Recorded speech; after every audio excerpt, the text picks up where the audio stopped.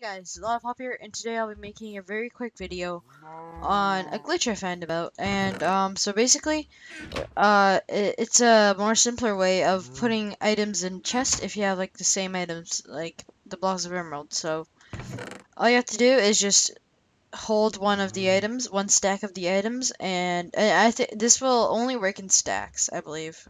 Um, just prove me wrong if you wish. Anyways, all you have to do is hover it over a different stack and just hold shift and just double click.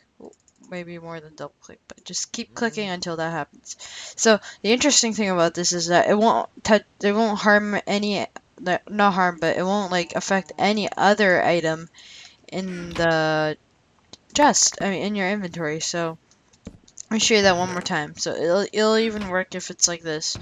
So just hover it over one block, and even if it's spread apart like this, it will still work like that. So yeah, I guess that's pretty much it, and um, I'll see you guys later.